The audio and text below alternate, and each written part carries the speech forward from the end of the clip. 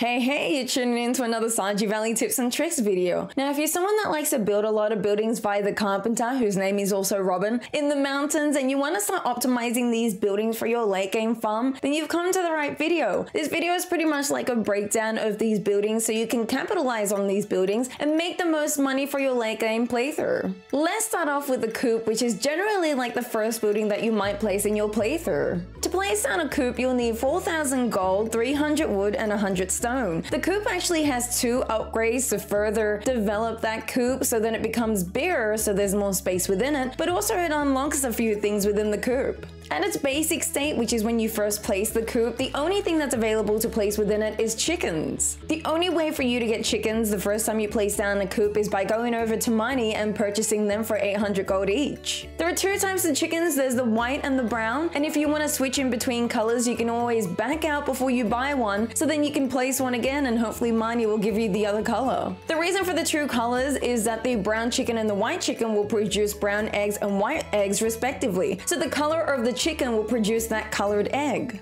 This actually has no effect on the egg other than if you need to hand in a certain colored egg for the community center. These chickens will only produce you small normal eggs and for you to get large eggs from them, you'll need to pet them and feed them daily to ensure that they're in a happy state for them to become mature. Not only do we have these chickens, but you can also later on get your hands on some blue chickens which are only available when you raise your hearts with Shane to an 8 heart event which you will need to see. There's actually no impact in blue chickens, they pretty much act just like brown and white chickens. It's just like a way for you to show off that you have some blue chickens on your farm. Once you have the right amount of money, wood, and stone, you can upgrade your coop into a big coop. This big coop will now widen the space of the coop within it, and now you can house yourself 8 animals within it. This coop upgrade actually unlocks the incubators, which if you have an egg in your inventory, you can place it within the incubator and then in a few days, that egg will hatch and an animal will come out and start to live in that coop as long as you have room in that coop.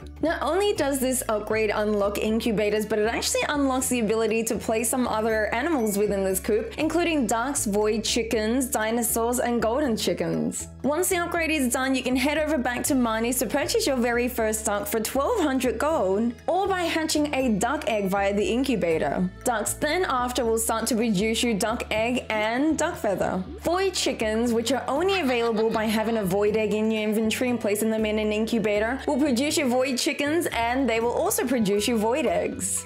Dinosaurs, just like void chickens, will need a dinosaur egg in the incubator to unlock dinosaurs, and dinosaurs will also produce you dinosaur eggs. And then we've got golden chickens, which will need an incubator to turn your golden egg into a golden chicken, which is unlocked when completing Stardew Valley 100%, and they will also produce you golden eggs. And then we've got the final upgrade for the coop, which is the deluxe coop, which will house 12 different animals and will require 20,000 gold, 500 wood, and 200 stone to construct. This will then unlock the auto feed system within the coop, which means if you have a silo on your farm and it's got hay within it, instead of you having to replenish the hay into the trough for your animals, the auto feed system will automatically do this as long as you've got that hay in the silo. This upgrade will also house yourself rabbits now, so you can head over to Marnie, purchase them for 8,000 gold, and the rabbits will produce you wool and rabbit's foot. And now we've got barns, which are very similar to Coop, especially with their upgrades and how much animals they can house within it. And just like like coops, they've got the three stages. So there's the barn when you first place it, you've got the big barn when you upgrade it, and finally there's the deluxe barn. Looks like I've got animals in my backyard. They're going off, so I apologize about the audio if you can hear them. The normal barn, which is the first barn you get to place down via the carpenter shop, unlocks the ability to house some cows. So head over to Marnie to buy your first cow for 1500 gold, but also save some money so you can purchase a milk pail from Marnie as well, because you'll need it so you can milk your cows daily. The color of the cow doesn't doesn't really matter, they both produce milk. It's actually just more of an aesthetic look. But after they start to mature by you petting them and feeding them, they'll start to produce you large milk. Then when you upgrade your barn into a big barn, you unlock the ability to house some goats, which you can purchase over at Marnie for 4,000 gold each. They act just like cows, but they actually only produce milk every second day, so when you start to milk them, you'll get goat milk, and once they become mature after feeding them and petting them, they'll start to produce you some large goat milk. Then with the final upgrade being the deluxe barn, you unlock the ability to house yourself some sheep, which can be bought over at Marnie for 8,000 gold, but I would also recommend buying yourself some shears so you can cut off the wool from the sheep. Pigs also become available with this upgrade, and although they're very pricey to buy at 16,000 gold via Marnie, believe me, in the long run, they're going to be one of the most OP animals in the game.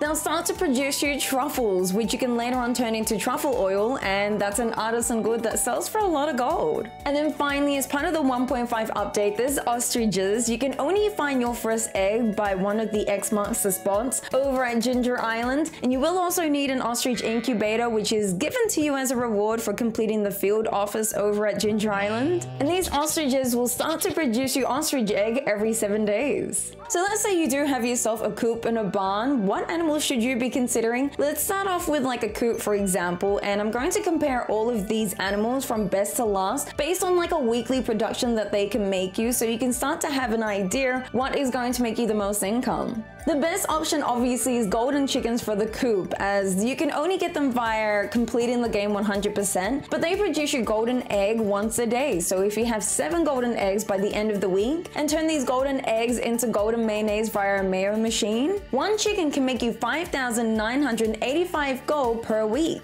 But obviously not everyone has 100% in Stardew Valley, so the next bet is actually chickens. You want to have mature chickens within there so they can produce you large eggs, which will then turn into gold star quality mayo. And when you're having 7 eggs a week and 7 gold star mayonnaise a week, a singular chicken can make you 1,995 gold every week.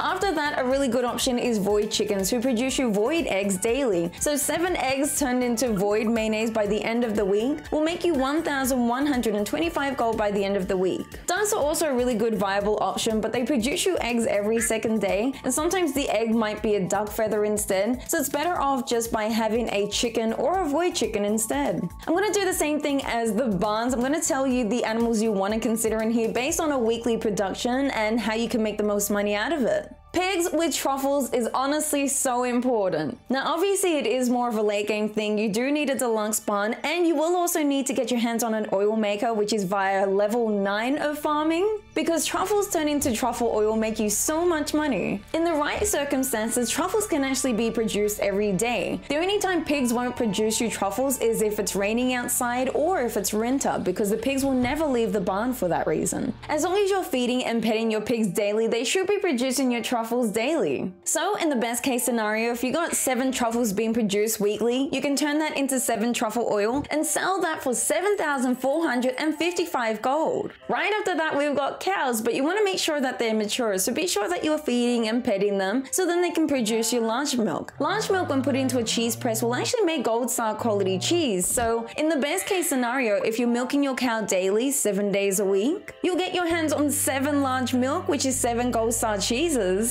which in turn will sell for 2,415 gold. Right after that, you'll actually need the 1.5 update for this, but ostriches are also a really good pick. They produce you one ostrich egg per week, and when you put that one ostrich egg into a mayo machine, they actually produce you just 10 mayonnaise. Surprisingly, the quality of the egg that the ostrich produces actually affects the quality of the mayonnaise. So if you have a gold star egg, for example, it will make you 10 gold star mayonnaise. In the best outcome, you want to have the ostrich producing you iridium star quality eggs. So then you can turn that into 10 iridium star quality mayonnaise. And with the level 10 farming perk for artisan goods to be sold for 40% more, you can be selling this iridium mayonnaise for 5,320 gold per week. These gold prices that I've actually mentioned for both the coop and the barn are not affected by the level 10 artisan perk, except the mention that I've just mentioned for ostriches. So if you want to make even more money, you can actually sell your items as artisan goods with that level 10 perk to be making more money. But if you're someone that chose the Rancher perk at level 5 instead of the Tiller perk that unlocks the Artisan perk at level 10, the animal products can still be sold at a decent amount at this point, but surprisingly they make even more money when turned into Artisan goods, so I highly recommend going the Tiller route and then the Artisan perk route instead because it makes you more money in the long run. I'm just gonna throw this in here real quick. If you're liking today's video, why not consider liking? If you want to see more videos, why not consider subscribing? My Fuzzilicious candles are still available. I'll leave the link down below. Whew.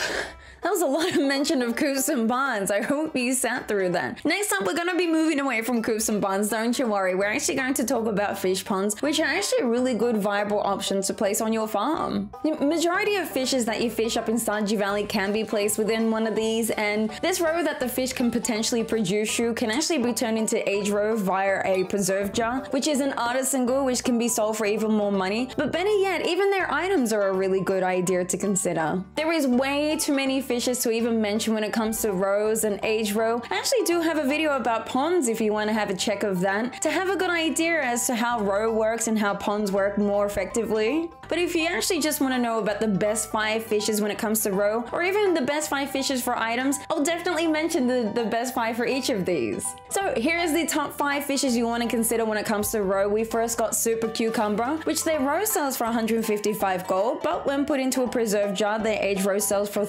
310 gold. Then we've got Stonefish, which their roe sells for 180 gold, but their age roe sells for 360 gold. We've then got Blobfish, which their roe sells for 280 gold, and their age roe sells for 560 gold. We've got Ice Pip right after, which their roe sells for 280 gold, and their age roe sells for 560 gold. And the best fish you want to start considering is Lava Eel, which their roe sells for 380 gold, and their age roe sells for 760 gold. When it comes to items, this is more of a personal opinion, but these are the top 5 fishes I like. There's definitely some other fishes that you might want to consider for their items, but here is my top 5 picks. Sturgeon is a really good idea as they have a chance to drop you diamond, omnigeode, and nautilus shell. Super cucumber, spookfish, and rainbow trout all have a chance to drop you diamond, gold bar, iridium ore, and omnigeodes. Void salmon has a chance to drop you void essence, void egg, diamonds, and iridium ore. Lava eel has a chance to drop you diamonds, mega bombs, and iridium bar. And stingray, if you had Ginger Island unlocked, is a really good pick as they have a chance to drop you cinder shards, dragon tooth, and battery packs. The next building you may want to consider is a mill, which is available via the carpenter shop for 2,500 gold, as well as 50 stone, 150 wood, and 4 cloth. The only reason to really consider a mill is if you're producing a lot of wheat, beets, and unmilled rice, as they produce you flour, sugar, and rice respectively. If you find yourself growing these a lot, definitely consider a mill, but the final products, which is the flour, the sugar, and the rice, can actually be purchased over at Pierre and the Joja Mart. So if you don't actually find yourself producing these, don't really purchase yourself a mill. You can actually save that space for something else. The next building I've mentioned, which I highly recommend, is sheds. I love sheds. I use them all the time in my playthroughs. I know they're kind of pricey to place down and to expand so then you can have more room within them, but a big shed actually has room for 137 machines or kegs that you can all reach and use, which saves you room on your farm. If you're someone that doesn't know how to organize their shed or just needs some ideas, I actually have a video which I will link up in the annotations and the description to help you on your on your process of making a nice pretty shed shed. Many machines can actually be placed within a shed, whether it's your Coop and Barn machines or crystallariums, for example. And with the amount of space that's within there, you don't even need that many sheds within your farm. You can design it however you want and you can place pretty much nearly everything within there. The ultimate farmer that is placing down coops and barns should definitely have a silo. In fact, it is suggested to be putting down a silo before you have a coop and a barn so you can start to fill in this silo with hay so when you do have your animals available, you're at least prepared. A silo can hold up to 240 hay and more than one silo can be placed on a farm. All these silos are actually connected as well, so when it comes to replenishing hay, you only really need to be placing your hay within one of the silos. Obviously, the more silos you have, the more hay capacity you have within these silos. I am not one to be putting down slime hutches. I know a lot of people like using them, but I generally don't like using them in my playthrough, but I think I'm to leave that for another video. Hope you enjoyed today's video, guys. Take care.